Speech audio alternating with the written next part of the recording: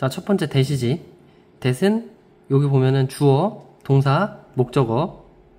어, 개념 설명 패스하고 그냥 문제만 풀이한다. 주어, 동사, 목적어지, 동격이지. 된 나왔어. 자, 주어, 동사, 보. 완전한 문장이야. 완전한 문장인데 앞에 명사가 있다. 그럼 동격이지? 통과.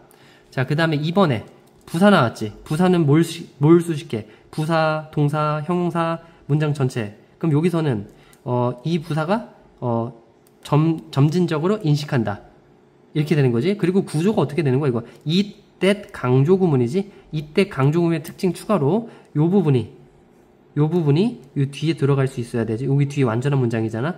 어, 그러니까 들어갈 수 있는 거는 부사나 전치사고 여기 인이 꼭 있어야 된다. 어, 대신에 요거 요거 같은 거 딱 내기 딱 좋겠지. 이거 딱 없애 가지고 어쨌든 어, 주어, 동사, 목적어인데 부사 왔네? 부사가 뭘 꾸며줘? 동사 꾸며줬어. 자, 그 다음에 3번에 여기 밑줄인데 여기 주어, people 주어, 동사, 여기 목적어, 또 된 나왔지? 동사 나왔지? 주격관계 대명사지? 선행사가 s 붙었으니까 s 안 붙었지? 그리고 이 대까지 확인하면은 어슈얼에 대한 목적어로서 뒤에 이렇게 완전한 문장이 왔다.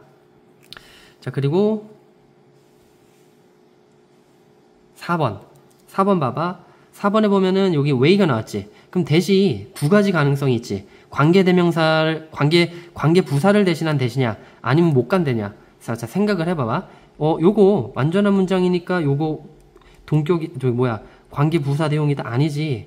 이게 목적어라면은 이게 형용사인데 이게 형용사인데 목적어가 될수 있어? 아니지. 이게 목적 보호 자리지. 목적 보호. 여기 목적어는 지금 빠진 거고 목적격 관계 대명사지. 자 감정의 동사가 이렇게 ed나 ing를 붙이면 형용사가 되잖아. 그래서 내가 뭐라 그랬어? 감정의 분사는 비교 대상이 사물이면 ing. 이 비교 대상이 뭐야? 목적격 관계대명사에 빠진 거는 앞에 요거랑 똑같다. 그러니까 이게 사물이니까 fascinating 이렇게 와야 되겠지.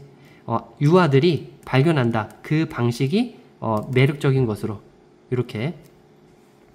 자, 그 다음에 5번에 관계 부사 나왔지? 완전한 문장 확인하면 되겠지. 주어, 동사, 목적어, 완전한 문장. 그래서 정답 4번. Fascinating. 여기 목적어가 빠진 거였고